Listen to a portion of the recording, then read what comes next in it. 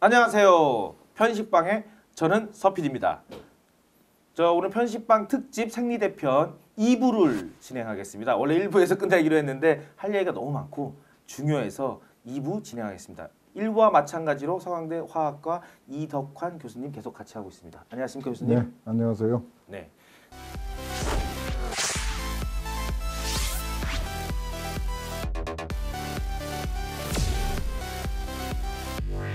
이거 원래 아까 봐야 되는데 보지도 못했어요. 그러면 그 아, 사실 그 네. 그렇거든요. 이 강원대 실험실은 네. 이, 이런 사회 사회적인 문제 제기를 하려면은 그 사회적으로 인증을 받아야지 돼요. 그렇죠. 네. 이 강원대 실험실은 인증을 받지 않은 기관입니다. 그러니까 이 실험은 아마도 그, 그 학교를 다니고 있는 대학원 학생이 시행을 했거나 그럴 아. 그러니까 거예요. 학교나 이런 것도 제가 알기로는 뭐 식품에 대한 검사를 할 때도 공인된 그 인증을 그렇죠. 받은 기관에서 예, 공인된 방법으로 예. 원래 그것을 해야 되는데 예. 근데 이 실험의 경우에는 실험실에 어떤 기기가 있고 아, 어떤 훈련을 받은 인력이 확보돼 있고 아, 어떤 절차에 따라서 이 실험을 했는가가 확인이 안 돼요. 와, 이거 심하네요. 예. 그러니까 그러니까 일단 기관도 아닌데 음. 기계가 어가 있는지도 모르고 예. 그래서 그걸 한 사람이 전문성이 있는지도 모르는 예. 상태에서 모르 잘 쓰지도 않는 걸 보여주면서 문제 제기를 한 거네요. 그렇죠. 그러니까 이건 그 이 우리 사회가 이런 자료를 받을 때부터 아. 상당히 심각하게 검증을 시도를 했었어야 되는데 아, 이런 얘기도 되나? 이 어. 교수님 도대체 무슨 생각으로 이걸 이렇게 어, 하신 거죠? 이런 경험이 있었던 것 같아요. 아, 이 경험이 있다고요, 대학의 교수님이? 대학의 실험실은 학술 연구를 위한 곳입니다. 이런 그렇죠. 문제 제기를 하기 위한 곳이 아니고 그런데 아마 이분의 개인적인 경험이 있어서 이렇게 이런 일을 다시 반복을 하신 것 같은데 어떤 경험인지 혹시 말씀하실 수 있나요? 어 제가 언론 저 인터넷에서 알게 된 거는 그 옛날에 컵라면 네, 옛날에 컵라면, 컵라면 컵라면. 그 용기가 스티로폼으로 돼 있어요. 그렇죠. 지금 지금은 이제 종이 종이로 돼 있는데. 네. 그거를 바꾸게 만든 분이 이분인 걸로 알려져 있어요. 아, 그 예, 뭐그 환경 스티- 호르몬이 나온다고 그렇죠. 스티로폼에서 뜨거운 물을 넣으면은 환경 호르몬이 나온다 하는 주장을 해서 그 용기를 바꾸게 만든. 저도 옛날에 그 렌즈에다가 이렇게 돌려 먹었는데 그 옆에 스티로폼이 녹아갖고 예, 예. 굉장히 공포스러웠던 생각인데 그걸 이분이 말씀하시- 하셨다고 그래요. 아, 근데 예, 그건 맞는 얘기인가요 그때 당시? 어 그것도 꼭 필요했었는지에 대해서는 상당히 아, 여러 그런 가지로 있군요. 시각이 다를 수 있을 것 같아요. 아, 그건 또 되면 예, 다음에 또 예, 자세히 알아보기로 하고 근데 하여간 그런 그, 런 그런- 걸 하셨던 분이고 예. 저희가 더 이상 신경을 써야 할 만큼 의미가 있는 자료가 아닌 것 같아요.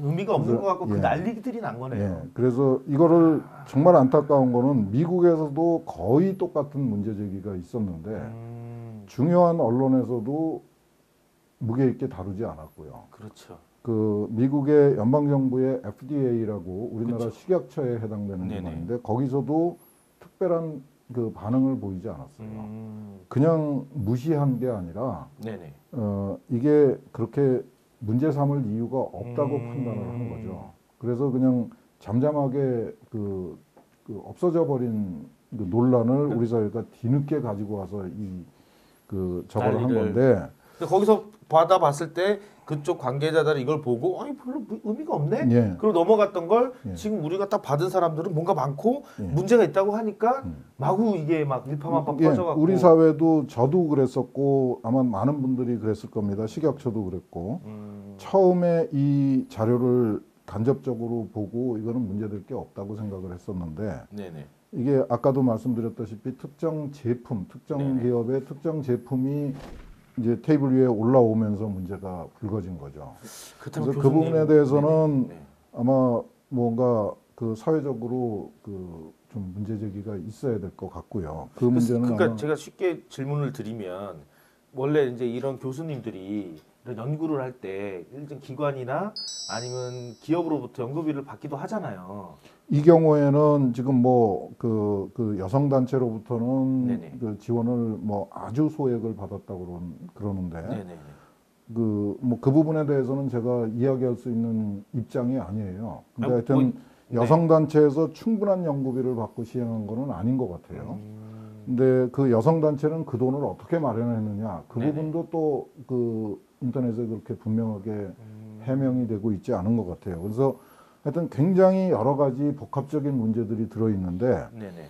어, 우리 소비자들의 입장에서는 이 문제는 결국은 식약처하고 여성단체하고 그 강원대하고가 해결을 해야 될 문제고 일반 소비자들한테 더 심각한 문제는 과연 우리가 이 일회용 소비 어, 생리대를 네네. 실, 저, 믿고 써도 되느냐 그렇죠. 이 문제가 훨씬 더 심각한 그렇죠. 것 같아요. 저희가 이제 오늘 모여서 얘기한 예. 이유도 그 문제를 진단해 예. 보고 과연 어떻게 사용해야 되는지. 예. 우선 그 제가 그 동안에 이 문제하고 예, 이 문제에 관심을 가지면서 확인한 걸로는 네. 어, 생리대가 한 종류가 아니에요. 그러니까 그렇죠. 그 아주 전통적으로 사용하던 면 생리대가 있고 그렇죠. 70년대 중후반부터 우리나라에 막 물밀듯이 들어오게 된 이 일회용 생리대가 있고 네네. 그 다음에 우리나라 여성들은 별로 안 좋아하는데 또 그 서양에서는 그 오- 오히려 그 압도적으로 한 8, 90%의 여성들이 사용한다는 삽입형 생리대 아, 탐폰이라고 하는 게 탐폰. 있고요. 예, 예. 그 다음에 최근에 이제 새로 개발되고 있는 생리컵이라는 게 있어요. 생리컵. 예. 어, 그래서 생리대의 종류만 해도 꽤 다양하게 있습니다. 네네. 그런데 어, 우리나라 여성들은 압도적으로 일회용 생리대를 많이 사용하고 음, 일부가 아마 면 생리대를 사용하고 그 삽입형 생리대를 사용하는 사람들은 극소수인 것 같아요. 음. 그렇게 많지 않은 것 같은데 아까도 제가 말씀드렸다시피 이 생리대를 그 생리대가 그 건강에 영향을 줄 수 있는 개연성은 충분히 있습니다. 네네. 여성들이 뭐 한 달에 일주일 이상을 사용을 해야지 되고 그렇죠. 뭐 굉장히 그 장기간에 걸쳐서 평생 그야말로 평생을 사용해야 되는 건데 반복적으로 지속적으로 사용해야 되는 거거든요. 근데 어 이거를 정말 위생적이고 합리적으로 사용하는 게 굉장히 중요할 것 같은데 음, 어떤 이유에서인지 중학교, 고등학교, 초등학교도 포함해서 네네.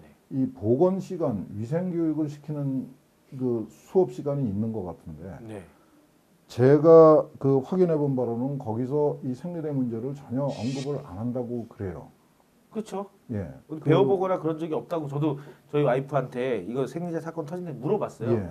그랬더니 누가 가르쳐 주지 않는데요. 한두 명이 아니고 저한테 연락을 했던 그 여기자들이 네. 이구동성으로 하는 얘기예요. 그래서 제가 음, 거꾸로 물어봤어요. 생리대가 건강에 문제가 될 수도 있다고 생각하지 않느냐? 음, 좀 걱정스럽지 않느냐? 그랬더니 여태까지는 걱정을 안 했었다고 그래요. 찝찝하겠네 그러면 이제. 예 그러면 우리 보건 교육, 위생 교육이 뭔가 굉장히 잘못된 거죠. 음. 그이 생리대는 이제 구조를 보시면 네, 아시겠지만 볼까요? 한번- 예, 네, 네. 굉장히 간단합니다. 그, 이게 문제가 되었던 제품이 예, 이거죠, 이거, 이거. 뭐 네네. 저는 어느 제품인지 저도 모르겠는데 몰라요. 뭐 지금 이게 기본적으로 이제 다 똑같습니다. 거기서 아까 말했듯이 예. 한 제품을 지명했다는 게 이제 이 예. 제품인 것 같아요. 네. 이 구조는 기본적으로 유아용 기저귀하고 크게 다르지 않습니다. 아, 크기가 조금 처음 뜯어봐요. 제가 뜯어볼 저는 없어서. 이게 취재를 당하는 네네, 동안에 그, 그 대량으로 구매를 해서 이 제품 저 제품을 아, 살펴봤는데 뜯어본 적이 있어요. 저는 이거를 군대에서 어, 여기 이제 어깨끈에다 대신 어깨끈이 얇아서 이렇게 대고 행군을 갔던 기억이 나네요. 네. 근데 네. 뭐 간단합니다. 구조는 안에는 이렇게 이제 부직포라고 그래서 네, 네. 이렇게 뭐가 있네요. 예, 이렇게. 여성들의 피부에 직접 닿는 부분이죠. 네. 이 부직포라는 거는 그냥 그 실을 네, 네. 이렇게 그 씨줄 날줄 해서 이렇게 엮지 않고 천처럼. 네. 그냥 접착제로 눌러서 붙여버린 아. 그렇군요. 그냥 면 면하고 크게 다를 게 없어요. 네, 네. 근데 여기도 이제 이 네네. 생산하는 과정에는 접착제를 쓰는데 네. 이거 뭐 냄새를 맡아 보시면 냄새가 아무것도 안 납니다. 뭐 좋은 예. 향기 예, 냄새 같이 그냥 예. 그 그런 거 그- 나는데요. 그 그러니까 이 여기에 이 부직포를 만들 적에 썼던 네네. 그 접착제는 이미 다 날라가서 네, 네. 더 이상 그 걱정할 이유가 없는 거고요. 이 뒤에가 되게 끈적해요. 여기 여기가. 네. 여기가. 이게 이제 여기가. 문제입니다. 이 여기, 여기가 이게 이제 여기도 이제 그 끈적하고 이런데. 여성들의 그 내의에 접착을 시키는 이런. 용도로 그렇죠, 이렇게 이렇게. 붙여서 사용 이게 움직이지 않도록 하는 용도인데 네, 네. 여기에는 상식적으로 봐도 VOC가 잔뜩 들어 있습니다. 그렇죠. 원래 접착제는 다 예, 그런 접착제에- 휘발성 물질이잖아요. 예, 접착제의 접착 성분을 그 휘발성 유기용매에다가 녹여가지고 여기다가 발라놓은 거거든요. 그러니까 여기에는 상당한 아, 양의 이렇게 그 뜨더라는 거네요. 이렇게 아, 네. 아, 이거 뜯을 줄 몰라서 네, 이렇게 유기용매가 이렇게 들어있는 거예요. 근데 거예요. 문제는 뭔가 하면은 음. 이 접착제가 붙어 있는 면이 음. 이게 폴리에틸렌입니다. 아. 비닐이라고 부르는 그렇죠, 거예요. 그렇죠. 그러니까 뭐 원론적으로는 여기 이 외 이거는 이제 생리대의 바깥 부분입니다. 그렇죠. 이 바깥 부분에 있는 유기용매가 예. 휘발성 유기용매가 안쪽으로 들어올 들어갈 일은 없죠, 거의. 상식적으로는 없죠. 뭐 이렇게 실수로 뭐. 그 뒤집어서 하거나 그러지 않는 이상에는 그렇죠. 거의 이- 없는 이 거죠. 부분은 사실은 그 여성 입장에서 보면 외부로 노출되어 있는 그렇죠. 부분입니다. 음. 그러니까 여기 여기도 넣어서 이렇게 한꺼번에 넣어서 어, 거네요? 이거를 유리 유리병 속에다 이 상태로 넣어가지고 아 이렇게 다그 넣어서 여기서 나오는 VOC를 측정을 했고요. 야 식약처는 이거를 통째로 얼렸습니다. 얼려요? 어, 얼린 다음에 이거를 분쇄를 했어요. 그러니까 이 안에 들어있던 그 그것도 들어갔겠네요? 강원대 교수가 이제 지적을 한 문제 중에 하나인데 이 상태로 얼려버리면요. 네. 여기 있던 VOC는 자동적으로 다 날아갑니다. 왜요? 어, 그 얼음을 얼리면은 네, 그 안에 저, 이제 물을 얼리면은 물 속에 들어있던 기포는 다 날아간다. 아 기포가 이렇게 얼어 들어가니까 그렇죠. 다 빠져나가는군요. 예. 아. 그 그러니까 강원대 교수한테 빌미를 준 겁니다. 이걸 얼렸다 그러니까 이거 다 날아간 다음에 아. 아니 뭐라 그 지금. 보니까 여기 끈적이니까 여기 이게 종이에요. 네. 여기, 종이 미세하게. 칼로 그- 따갖고 오려갖고 이거를 버리고 그렇죠. 안에 것만 해도 될 수 있는 건데 이게 마치 이런 유리처럼 유리 네. 한쪽 면에 완전히 붙어 있어서 제거하기 어렵다면 모를까. 그렇죠. 이게 지금 여기 이렇게 이렇게 하면 이거 지금도 칼로 하면 이거 뜯을 수 있을 것 같아요. 이게 뜯어야죠. 이거는 네, 이거 종이처럼 느껴지지만은 사실은 이게 폴리 그 에틸 저 폴리에틸렌 그 비닐입니다. 가위로 한번 해보면 그리고 이제 그 생리대의 주 그 기능은 이 안에 들어 있는 그렇죠. 부직포하고 부직포. 이 폴리 그 에틸렌 이 비닐 사이에 들어 있는 흡수층입니다. 이렇게 안에가 네, 좀 솜처럼 들어. 솜처럼 이렇게 돼 있어요. 솜처럼. 이게 폴리 아크릴레이트라고 하는 고분자 물질이에요. 이 자체는 뭐 먹어도 상관없을 정도로 무해한 성분입니다. 근데 이걸 왜안 뛴지는 조금 이해는 가네요. 음, 왜 그러냐면 요게 안에 요거랑 이렇게 붙어 있어요. 네. 그러다 보니까 얘만 떼어내기가 아, 어렵네요. 그거를 뭐그 실험적으로 그 녹여버린다든가. 할수 있는 방법은 굉장히 많습니다. 아, 근데 좀 옛날에는 보니까. 예, 좀 옛날에는 귀찮겠네, 예, 내가 그 보니까. 70년대부터 한 아. 90년대 말까지는 이 흡수체를 네네. 이렇게 가공을 솜처럼 가공을 못해서 그 동그란 알맹이 형태로, 알맹이 형태로. 예, bead라고 하는 알맹이 형태에다가 색깔을 입혀가지고 그 뭐 김 속에 들어있는 그 방, 방습제 같이 그렇죠. 생긴 거 그거 그렇게 말씀하시는 거죠? 만들어서 여기다 아. 넣었었는데 90년대에 미국의 작은 회사가 이, 이 폴리아크릴레이트를 이렇게 솜처럼, 솜처럼 가공하는 이렇게. 방법을 개발했어요. 이게 솜처럼 가공을 했네요. 네. 이렇게. 그 보통 보시면은 솜이라고 생각을 하실 텐데 음. 솜보다 흡수력이 물을 흡수하는 능력이 어마어마하게 좋습니다. 한번 한번 부어볼까요? 예. 물을 이렇게. 그냥 여기다가 부으세요. 어, 거기다 여기다가 부을까요?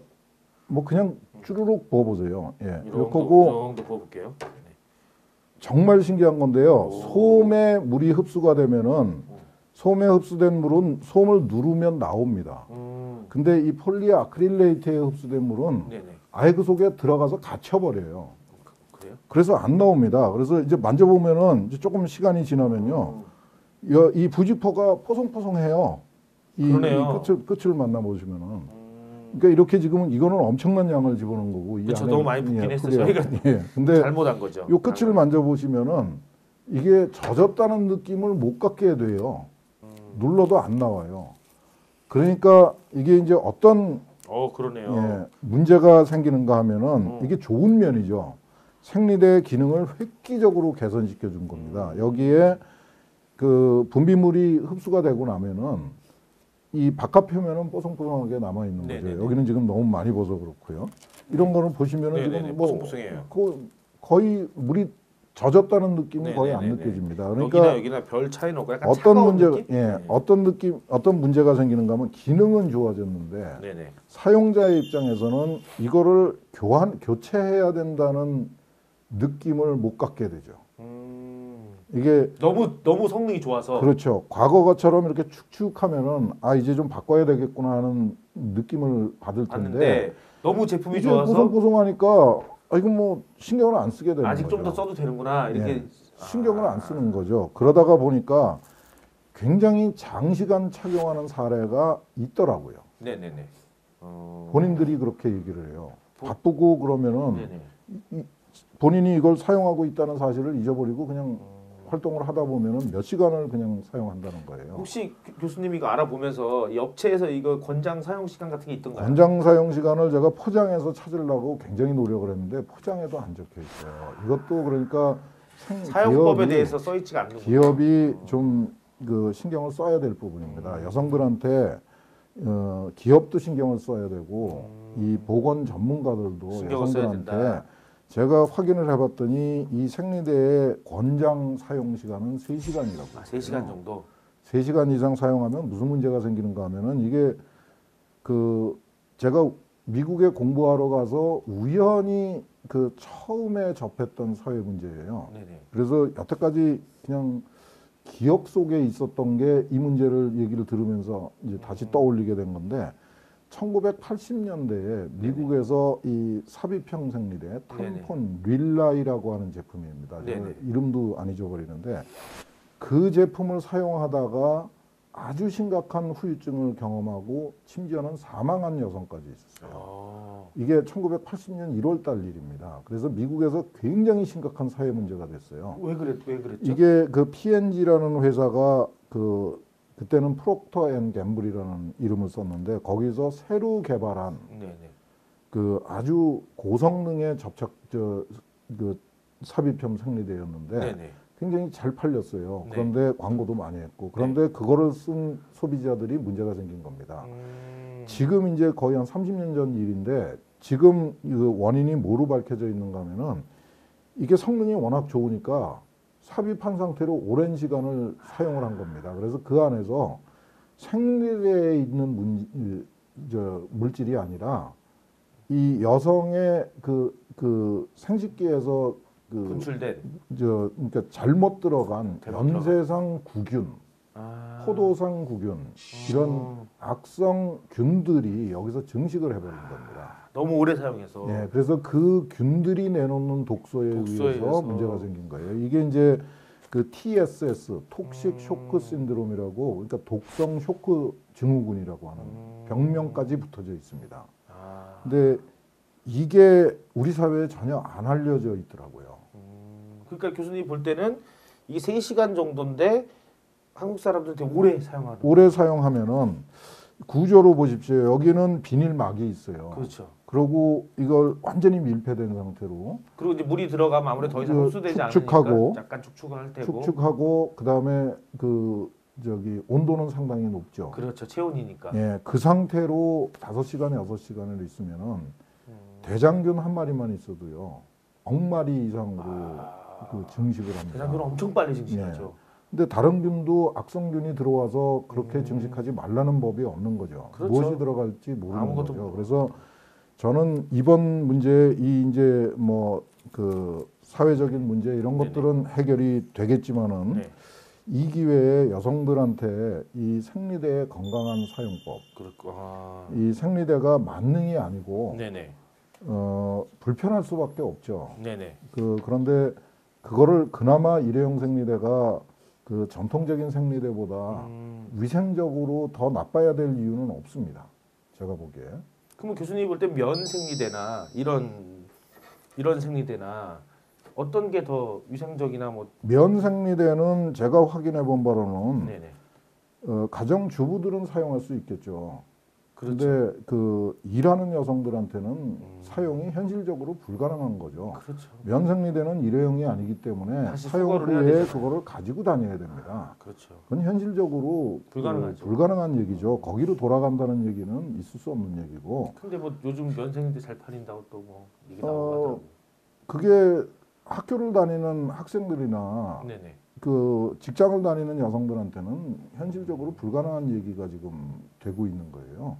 그러니까 이 편리하게 개발한 그 일회용 생리대를 어떻게 건강하게 사용하느냐 야, 이 문제에 대해서 우리 사회가 훨씬 더 그 많은 관심을 가져야 된다고 생각합니다. 그러니까 정리를 해보면 교수님이 보실 때는 워낙 그 고도로 발달해서 이 생리대 자체가 흡수율이 굉장히 높고 질이 좋다 보니까 사람들이 너무 여성들이 오래 예. 착용하는 그럴 위험성이 저기 높, 충분히, 충분히, 있다 보니까 거기에서 오는 질병이 이 안에 들어있는 이, 여기 지금 검사 결과에 나온 것 들어있는 화학 물질보다 더 위험할 수 있다. 그렇죠. 근데 이 생리대 회사에도 겉에는 권장 사용 시간이라든가 그렇게 오래 했을 때 위험할 수 있다라는 경고 문구라든가 이렇게 약간 잘 사용할 수 있는 사용법이 적혀 있지도 않고 음. 또 일반 학교에서나 어디에서도 제대로 교육하는 데도 없고 음. 그러니까 지금 이 생리대 사건을 정리해 보자면 결국 큰 문제 될 거 없는데 음. 갑자기 툭 불거져 갖고 문제가 많은 것처럼 포장이 됐고 그걸 또 언론이 받아 썼고 그러면서 유독 한 제품이 몰아쳐서 욕을 먹었고 음. 근데 조사해 보니 그것보다 더 문제가 되는 건 사용법을 잘 몰라서 장기간 사용해서 세균 감염의 독소의 위험이 되는 게 더 많은 거군요. 예. 지금 이거 우리 저희가 여기다가 물을 정말 엄청나게 엄청. 붓잖아요. 제가 제가 한 몰라갖고 10분, 10분 정도 지났는데 지금 만져보십시오. 그냥 포송포송해요. 아까는 솔직히 만져볼 때 아, 축축한데 속으로 네. 그랬는데 누- 지금은 이게 오 이게 차이가 눌러도 이겁니다. 눌러도 하나도- 물이 배 나오질 않아요. 네, 아주 뽀송뽀송. 이게 포인트입니다. 아, 이러다 이게 보니 그 폴리 저 아크릴레이트라고 하는 거의 특성이고요. 아 이게 저 기저귀하고 많이 비슷하군요. 저희 그렇죠. 딸 키우면서 이제 제 기저귀는 몇 번 갈아봐서 이제 이게 이걸 확대하면 기저귀네요. 그러면 음. 딱 해서 이렇게 말아갖고 기저귀 버릴 때 묵직했던 그 느낌이 나네요. 그렇죠. 아. 그러니까 이거 이번 기회에 그 유아용 기저귀도 마찬가지입니다. 이게 음. 단순히 여기서 뭐 세균 증식이나 이런 거를 걱정하지 않더라도 이게 비닐로 막혀져 있잖아요. 그렇죠. 통풍이 안 되고 그 완전히 밀폐된 공간이 되거든요. 그렇죠. 새지 않게 하려면 그럴 수밖에. 그러니까 여성의 생식기나 또는 아이들의. 그 아이들의 생식기를 이런 기저귀나 생리대로 음. 장시간을 밀폐시켜 놓으면은 그 자체도 위해 요소입니다. 그렇죠. 뭐 여기서 세금 세균 증식이 안 되더라도 안 되더라도 문제는 있는 거고 예. 짓무를 수 있으니까. 근데 그러니까- 면도 마찬가지로 오래 쓰면 비슷하잖아요. 아 면은 현실적으로 제가 저희 집사람한테 확인해 본 바로는 장시간 착용이 불가능해요. 아, 배에서 나오니까. 그렇죠. 바깥으로. 이거는 지금 이렇게 물이 흡수되고 나서 여기는 흡수되고 흘러나, 여기는 방수가 돼 버리니 흘러나오지가 않지만은 있는데, 면생리대는 그냥 계속 물이 흡수가 된 다음에 눌리면은 짜- 물이 다시 아, 배에. 나오니까 그러니까 이건 분비물이 많아지거나 시간이 지나면은 더 이상 착용이 면이. 좋은 게 아니라 면은 장시간 사용할 수 없는 구조로 네. 되어 있는 거네요. 그러니까 이것도 면처럼 장시간 사용하지 않는다면 결과적으로 괜찮다. 예. 야, 근데 업계 관계자들 굉장히 좋아하겠어요. 이제 여성들이 더 자주 갈. 뭐 그런 이거- 얘기도 들었습니다. 네, 제가 이- 이거를 권장 사용 시간이 3시간이니까 네네. 좀 충분히 자주 갈아줘야 된다. 그랬더니 이거 비싸거든요. 무슨 예 무슨 뭐그 저 업체 생, 네. 생- 저 생리대 업체하고 무슨 관계가 있느냐 커넥션이 있냐? 네, 뭐 이런 얘기도 들었는데 그건 뭐 상식으로 판단을 해보시고요. 그렇죠. 그러니까 결과적으로 이 생리대 사건은 좀 쓸데없는 낭비였네요. 어, 참 혼란스러운 거죠. 이 정말 생리대의 위생적인 사용법에 대해서 관심이 필요하다라는 음, 정도의 그 교훈을 얻기에는 너무, 너무 예, 너무 골치 아프게 일이 퍼졌고 그 특정 기업은 아주 심한 타격을 받았고요. 우선 그 사회적으로 불신이 아주. 퍼져버린 거죠. 이게 지금 우리가 어서 이렇게 떠들어봤자 저희 방송 조회수가 아직 천이 안 넘거든요.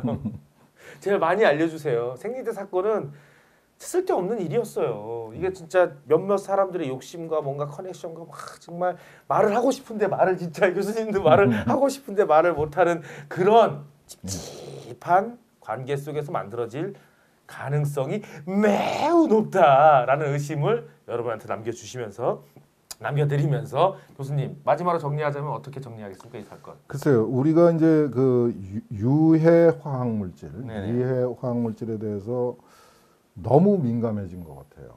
뭐 가습기 살균제 문제도 있었고 뭐 이해는 치명적이라 하지만, 그랬었던 것 같아요, 이해는 하지만은 이제는 좀 냉정해져야 되는 거 아닌가? 우리가 음, 화학 물질을 포기하고 살 수 있는 그 상황이 아니에요. 그렇죠. 그러니까 정확하게 알고 정확하게 사용하는 그 노력이 필요하다.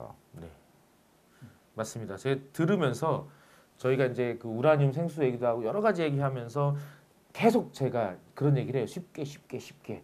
근데 저도 이걸 듣고 있다 보면 쉽게 쉽게가 문제가 아니라 조금 어렵더라도 좀 이렇게 관심을 갖고 그것을 공부하고 판단하면 아무렇지도 않을 수 있는 것들이 있거든요. 네. 또 관심을 갖다 보면 그 가습기 문제처럼 또 심각한 문제를 우리가 또 피할 수도 있고 그러니 그런 문제가 하나 생겼다고 해서 너무 무조건 다 불신하지 말고 다 그게 구별 있게 쓰는 거 아니겠습니까? 모든 성분이라는 게 독도 조금 잘 쓰면 약이 되듯이 잘 구별하려면 어쩔 수 없이 저희 편식방을 보면서 이 교수님들이 나오셔서 딱딱한 말을 하고 옆에서 서피디 쓸데없는 얘기를 날리는 걸 보면서라도 한 번만 딱 보시면 안심하고 밥도 먹을 수 있고 생리도 사용할 수 있지 않겠습니까 교수님? 예.